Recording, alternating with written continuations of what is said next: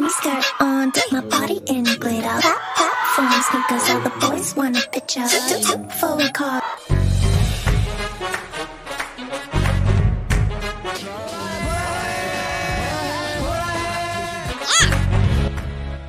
Hello Army, welcome back to my channel.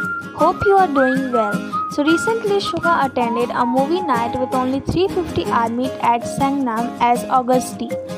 Interacted with Army very well and enjoyed the moment. Army was also freaking out. They seemed so excited and also happy to see Yoongi in front of him. Shouting full of excitement and enjoying the moment with Agust D. Suga talked with Army and answered some of the asked questions.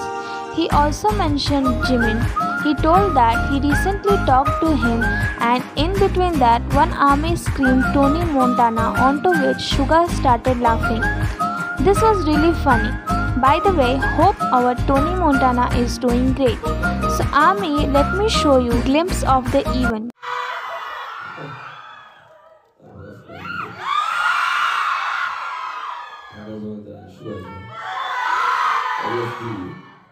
Tony Yuki. 어거스티 디데이 무비나에서 오신 여러분들 굉장히 굉장히 환영합니다. 어, 되게 이렇게 지금 상암에 온 것도 되게 오랜만인 것 같은데 여기 항상 여기서 되게 그 팬사인 같은 걸 많이 했는데 2018년 19년 이후로 가장 최근에 연락한 반답했거든요.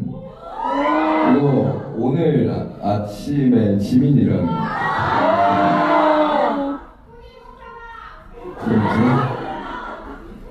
하던데 아무튼 뭐 그 낮에 아, 낮이 아니라 저 오전에 그냥 지민이랑 간단하게 그냥 뭐 이야기하고. 어 뭐 멤버들이랑은 항상 이게 단체 그 방이 있으니까 항상 이야기를 하는 편이에요.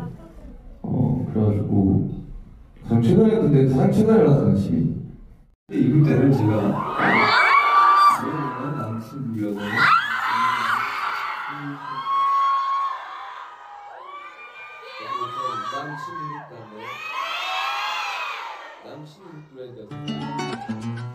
Oh, did you saw that boyfriend look? It's so funny. Yoongi also gifted Valentino perfume eco-friendly bag with a D-Day badge to 350 army present there. He's so sweet. Army must be so happy after receiving this. So this was all for today. Hope you like the information and appreciate it. If I made a mistake then please let me know in the comment section. Thanks for watching. Bye.